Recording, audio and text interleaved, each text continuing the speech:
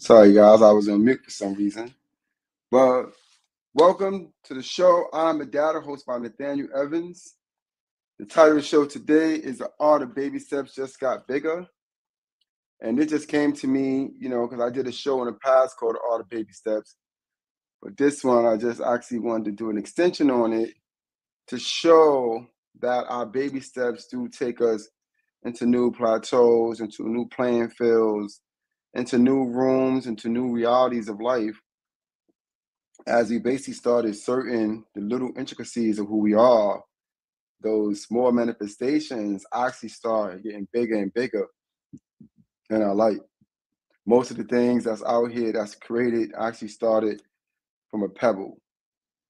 Businesses, you know, talents, you know, inspiration, leadership, all started from one speck of a thought and actually became this grandiose concept.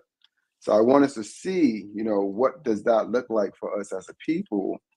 And on a visual, on an individual